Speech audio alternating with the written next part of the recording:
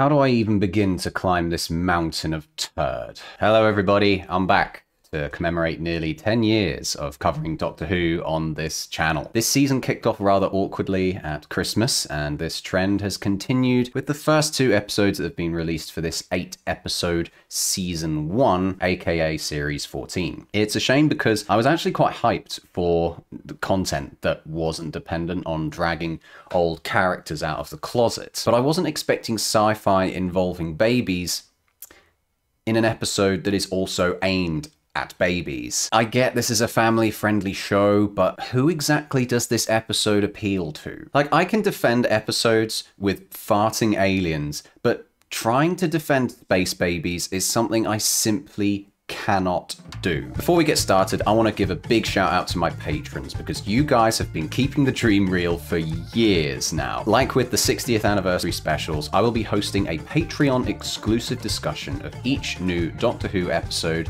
that is coming out over the next few weeks. We had a great discussion last Sunday, and I hope to see you on the next one. It will be on Sunday at 11am BST. Check out the server and my Patreon page for more details. Now, without further ado, let's get on with the review.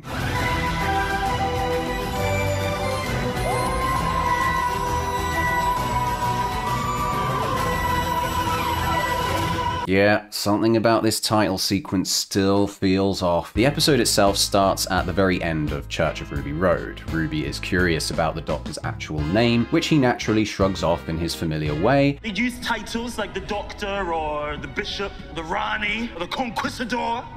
I wasn't quite expecting his pronunciation of conquistador to be so off either. Conquistador! We get a recap of where the Doctor's from and that he's the last one left, blah blah blah, and they set off before Ruby can get a chance to react to anything he's said. Gallifrey. And where's that? Gone! They died. It was a genocide and they died. Even her reaction to the mention of genocide made a plank of wood look exciting. Anyway, the pair set off and step out to see dinosaurs. Hey, didn't I make a reaction video to this clip last week? As predicted, the scene's dilemma of stepping on a butterfly gets undone faster than you can say Quidditch. The Doctor can not only revive dead insects with his minty Time Lord breath, but also thanks to a switch in the TARDIS he forgot to flick on, one that can apparently prevent the pair from being changed when traveling into the past. This is quite a neat way of explaining how Ruby didn't get zapped out of existence thanks to the actions of Maestro in the following episode, as well as why the Doctor and Donna were able to change gravity to Mavity in their little escapade last year. With Ruby transformed back to her regular old self, she is persuaded to return to the TARDIS without questioning why the Doctor is treating such a beautiful place like a pit stop. She doesn't seem to remember being turned into Rubathon Blue, so why she would be so happy to leave so quickly baffled me somewhat. Perhaps like the killing of the Goblin King in the previous episode, the Doctor is treating Ruby with this what she doesn't know can't hurt her mentality, which will hopefully have lasting consequences for the pair as the series goes on. With the pacing of the episode set to light speed setting, the pair then decide to see what humanity is up to in the year 21506. The first thing they find is a monster in a corridor that generates fear in the characters but struggles to have the same effect on me. For one thing, the characters and the monster barely share a shot together, and the chase is cut up worse than paper going through a shredder. The way these sequences with the monsters are edited and shot, it's so hard to tell how far away the monster is from the characters at any given point. None of it really gets to showcase the amount of time and effort that went into creating the monster. It looks really good when you see it in Unleashed, but the editors simply don't let the camera linger on it for very long, except when it's being ejected out of the airlock for some reason. There are times where the episode just cuts to the monster for the sake of a jump scare, without any form of suspense built up to it prior. It was like the producers thought, right, there's your monster, now let's move on to the next set piece. There is an in-story reason for why the characters are scared, in that the monster generates an infrasound noise that instinctively makes people fearful. I'm not sure what kind of audio setup viewers would require for such frequencies to be felt, but none of the monster's sound design made me feel fearful at all. On the surface, this whole babies in vats thing is kinda messed up, but humorously the Doctor lists some possible reasons for why intergalactic humanity might want to generate offspring offspring on board their spaceship instead of doing it the old fashioned way. Before we get bogged down in the details, the producers insist they need to show off another spectacular view for Ruby to wow at. Push the button.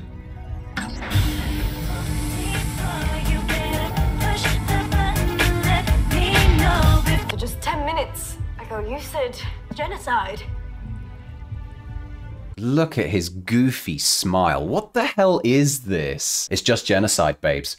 Don't worry about it. The tonal shifts that happen in the first 10 minutes of this episode are absolutely baffling. The Doctor then goes on to gloat about how great his life is to a girl whose family is actually tied to the constraints of rent, bills, and, uh, survival. I don't have a job either. I don't have a boss or taxes or rent or bills to pay, but I have freedom. It could be a really enticing thing for somebody to escape from, but the delivery from Gatwa just doesn't come off that way at all. All the while, Ruby is just smiling, all shiny eyed about it, willing to accept this man's embrace, which still feels awkward as heck. The pair's chemistry is still lost on me, and it feels like the show is forcing us to like the pair instead of earning it. Another new magic trick up the Doctor's sleeve is that he can disable the TARDIS's translation circuits with a slice of his arm. I'm not sure why they couldn't have just left this writing to the imagination, but before we can even think about that, we're treading more familiar footsteps, with the Doctor giving Ruby the ability to call her mum 19,482 years in the past. This was the point where I felt the refamiliarization truly outstayed its welcome. This minute long clip not only recycles a well earned, character driven moment from an episode 19 years prior, but turns the quality dial down to painful mediocrity, as though what we really needed was more gadget gimmick nostalgia bait. That was my mum on Christmas Eve on my birthday 10 minutes ago. That's the best signal ever. How much that cost? I think that's amazing. You want to see the bill? This is pure laziness. To make matters worse, Ruby's amazement is completely shelved in favour of the Doctor pushing the plot along. He was so insistent on Ruby doing it, almost as though it would keep her occupied for a little bit while he investigated the ship. Play with your phone for a bit. I need to focus on things. Rewatching the phone scene in The End of the World, it's almost unsurprising how much better it is. And not only do the characters actually debate and disagree with each other, but the one thing that really stood out to me was the score. Both that series and this one are scored by Murray Gold, but it's so much more prominent and complementary in the former compared with whatever is heard playing beneath the latter that is completely lost in the mix. Then a talking baby wheels itself into the room and the first plunging quality occurs. You? We've been waiting for an awfully long time. I was willing to accept the presence of babies, but to generate artificial mouth movement just so they can talk, why? Just why? Were? They could have just had speakers attached to them, like the lawnmower dog from Rick and Morty or something. Credit where it's due, the visual effects department did create whole new CGI masks for the babies instead of just superimposing these child actors' mouths onto them. But that still doesn't stop them looking uncanny as hell. We need oxygen to breathe. And I pulled this string and that string. Child labour laws preventing babies from being on set for more than two hours a day meant that the producers had to create these horrifying fake babies which had their CGI faces superimposed over the top. So those without teeth look the worst. But even those that do can't stop those lips looking fake as f- But Mummy and Daddy left us.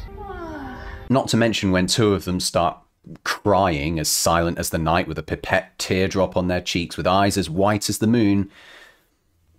This was all so dumb. And it only got worse from there. Nappies are changed at 1800 hours. Oh, can't wait to see that. I'll get the baby wipes. Space babies. So, this is the setup. A group of babies are living on this ship with the voice of Nanny looking after them all. For some reason, the babies are super smart and can talk and have their noses wiped periodically. Their snot is used to create a monster in the corridors below because apparently children need bogeymen.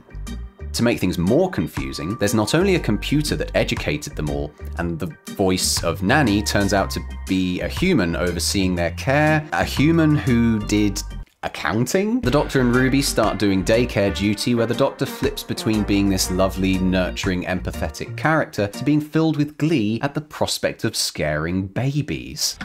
So scary.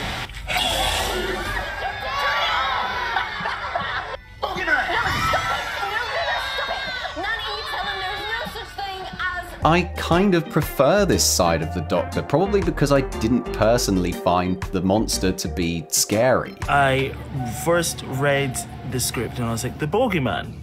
Uh, Cool. Lol. Shame we didn't get to see more of it, honestly. He then puts a headset on to speak to Nanny, despite being able to speak to her without it, and it was around this point in the episode where I started to feel like the actors had struggled to learn their lines. Nanny, these babies are trying their best, space babies, but this station is in trouble. You have got a build-up of pressure on hull 3B, and something is ramping up down with the boogeyman list. And if that continues, baby boom. There is no such thing as the bogeyman. That thing was more sort of like a uh, Why are all these cuts necessary? The pair head to where Nanny is camped out, but are interrupted by a flashback to the abandonment scene from Ruby Road. Memories being altered in that whoever abandoned Ruby turns around and points at the doctor, and it gets all snowy in the corridor for some reason. I have been to the ends of time and back, and I have never seen anything like this before. Oh yeah, the end of time. But that's nothing compared to uh, indoor snowing and flashbacks. The third adult character in the story is established as being somebody that has had to whack a leaking pipe for six years. The previous captains of these baby farm spaceships are all seen condemning the company they work for. Nanny claims it is because of a recession that led to the governmental abandonment of the baby stations, despite this vague intergalactic government apparently being the ones who made it illegal to close the stations in the first place.